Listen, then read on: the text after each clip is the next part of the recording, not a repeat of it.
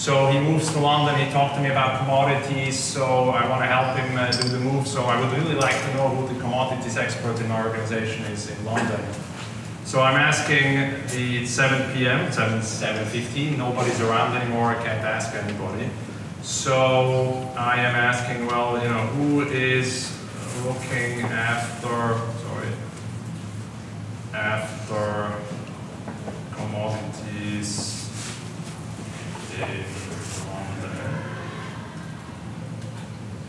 Now, luckily, somebody else has already uh, asked a similar question, which really saves me a lot of time. I can see here, it's not exactly the same, but it's probably close enough. You know, who's the contact for commodities in London? So I am selecting this question. I can see Halle Berry was so nice to provide the solution to the previous question poser said, you know, you can really talk to Barry Gold uh, or check in the address book. Now, I find this extremely helpful. I rate here with five stars. And, um, and so my problem is solved today, tonight. However, again, it's 7.15. I sit here, I'm going to talk to my client tomorrow morning. I really would like to appear a little bit more knowledgeable uh, what he just uh, had the conversation with me. So I'm going to ask uh, a little bit more about commodities because I would really like to be able to answer this question tomorrow morning. I'm going to ask here, this is the core functionality, which commodities are, and now I'd like to point your attention to the auto tagging function at the bottom of the question here. So while I'm typing here, it automatically populates what kind of relationships already exist in the brain between what I'm typing and the tags. Now it will change because I, today I really want to know what commodities are traded and you will find that previously we had gold and soybeans. However, because now I'm adding this uh, search uh, tag of trading, you know, the brain knows that, you know, probably you're a little bit more interested in ETF or this was previously asked. So, okay, sounds pretty good. I um, think my client has so I'm going to ask, I'm going to add the tag London here. So, and off I send the question to our brain that then automatically routes to the expert that is best suitable, suited to answer the question. Uh, in addition to asking questions and uh, replying, we have some we have some intelligence and analytics, so I can look at my own profile here. I'm, i left the demo environment. I'm now in our production environment for inside the company. You can see here uh, my know-how profile, okay? It happens to know the brain that I know a lot about Montreal here. I know a lot about Series A, because I guess it's pretty good. I know some um, aspects of Winter, which kind of makes sense if you know about Montreal. I know something about sales and Starmind and venture capital. These uh, maps change dynamically, so you know, depending on how good I am rated by my peers and uh, how well appreciated my contributions are, my relationships to these topics grow or shrink over time. Now I can also look at my activity streams here. Um, my personal activity, I'm sorry, I can see how many questions I asked. I can see how good my rating is. Apparently my peers are not very convinced about the quality of my contribution. I only get 3.7 out of 5 possible, not very good.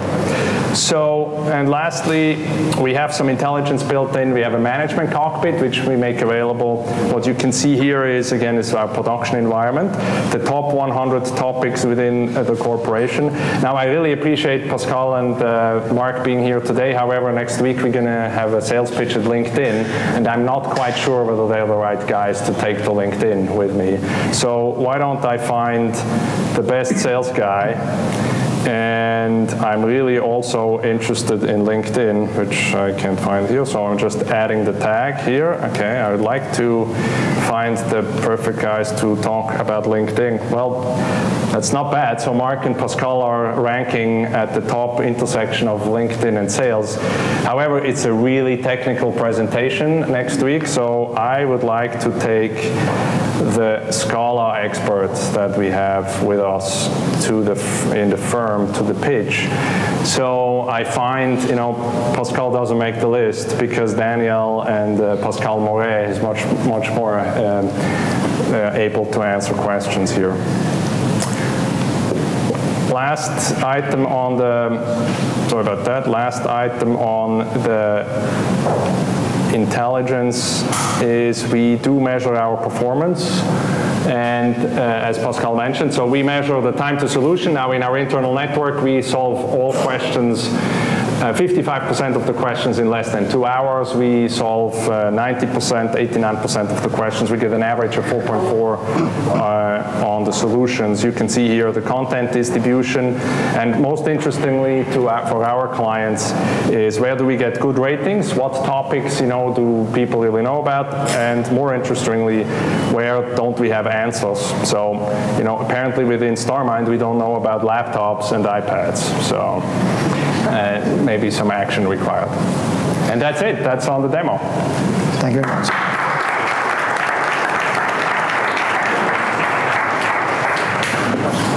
So these are uh, self-learning neural networks. Um, Marc Vontobel built them. Do you have any tough questions to our CTO? Please. So is there any uh, AI involved in this? Any, uh, we talk about neural networks. Are you doing text analysis, relationship building? Can you talk about that? Yeah, sure. Very good. So actually, what we build is a prediction model, a prediction engine on, that can tell you with what you said, like 98% of, uh, up to 98% of all questions we can find or predict who is the right person to answer it. And all of that is based on a, a know-how, something we call the know-how map. And this is a, a map that symbolizes like all the relations between topics based on Hebbian learning rules. So we have a really big map of topics, how they are interrelated, and we analyze uh, how people are interacting with those topics and topic clusters. For example, asking a question reveals that you're at least interested in those topics that uh, are mentioned in the in the question. Solving a question uh, might be an indicator that uh, you have some expertise in it. When you get a good rating, we are much more confident that uh, you are you really have uh, expertise in that topics. And every time when we learn something, we also forget something. So uh, we have a retrieval-induced uh, forgetting mechanism. So every time we learn something, uh, we also forget in the same cluster something else. So that it's like a short-time memory about who knows what. And we mix that with other dimensions. For example, availability, load balancing, so that not that everyone, uh, uh someone has to answer all the questions, uh, also language probabilities and stuff like that. So in the end, we can just give you a prediction of who is the best person at the moment to solve your question. What kinds of data do you ingest? How do you ingest it? Who decides what goes in? Can you repeat the question also? I'm sorry? Can you repeat the question? So, as far as I understood, how do we initialize like the the brain at the beginning? Yeah. And what data do you put in? So, so, we always start with about 100 questions so that no one uh, finds a, an empty system. And then we ask everyone uh, that joins the network, uh, we, we tell them or we, we send them five questions and ask them, could you solve one of them? And if not, do you know anyone within your company that could solve it? So we get, those initial links between users and uh, topics, and then with every interaction, with everything you search for, with every solution you read, with every question you pose, you, uh, we learn constantly what you're interested in and where your expertise lies. So it grows over time and uh, it gets more precise over time. So the, the users both ask answer questions. Yes, yes.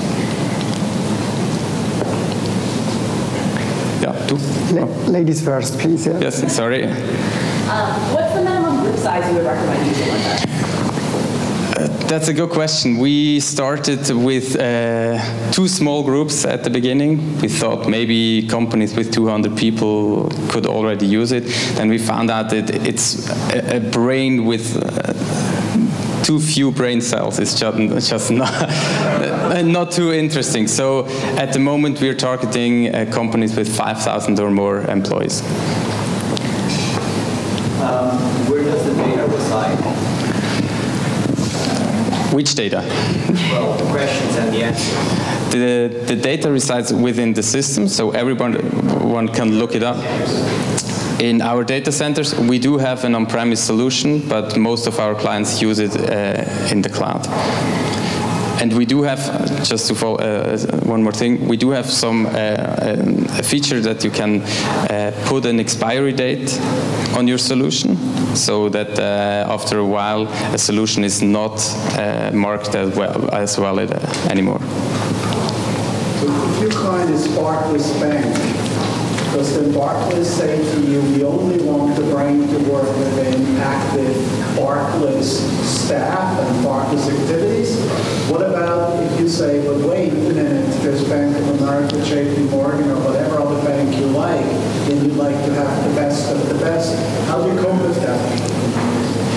Well, actually, that's uh, our next product development uh, step. It's uh, we call it the ecosystem uh, case, so that you can not only ask questions to your uh, employees, but also to the whole ecosystem around it.